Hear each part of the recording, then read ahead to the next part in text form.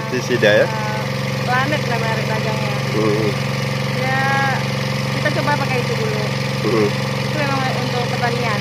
Ini untuk pencegah hama, hama itu Bu ya?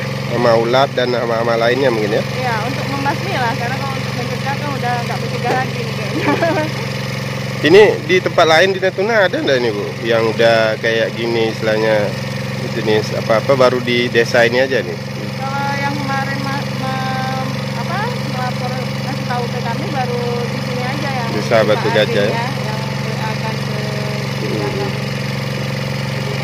Jadi ini kalau kita lihat nih efektif lah Bu ya untuk mengatasi hama nih ya, kayak biasanya ya? biasanya bisa untuk ulat tapi kalau untuk wabah seperti ini mungkin kita lihat nanti lah karena dia terlalu banyak ini Pak. Heeh.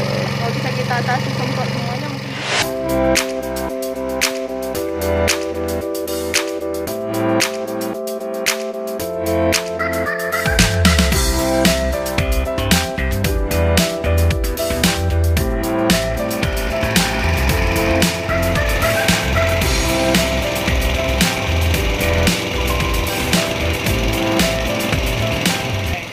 kepada seluruh warga terkait dengan eh, apa meluasnya hama ulat bulu nih di lingkungan rumah-rumah warga.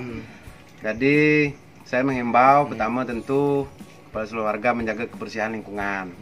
Tentu. Yang keduanya upaya sebagai upaya penekanan kita eh, sembari menunggu mungkin bantuan dari baik dari BNPP ataupun Dinas Pertanian.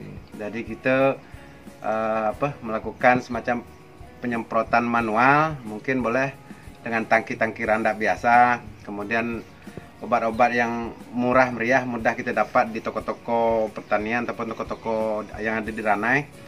Ah, mungkin salah satu kami udah tes nih ah, kurakron desis.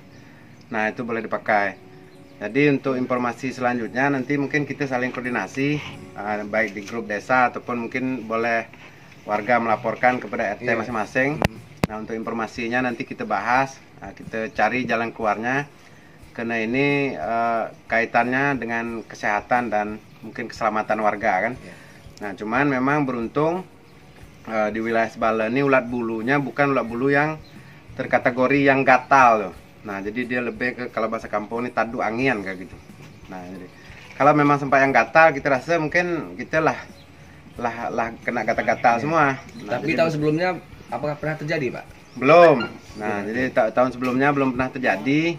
Nah, cuman memang eh, menurut keterangan warga, jadi ulat bulu ini memang lah ada sebenarnya, cuman tidak sebanyak ini. Tidak sebanyak ini, ya. Nah, itu kita tidak tahu entah penyebabnya apa. Hmm. Yang pasti menurut analisa kami ini eh, faktor cuaca. Nah, kemudian juga mungkin eh, faktor berbunganya tanaman nilap warga nih. Iya, iya. Jadi mungkin ini makanan yang mungkin disukai ulat bulu nih. Nah, jadi membantu mempercepat pertumbuhan dan berkembangnya. loh.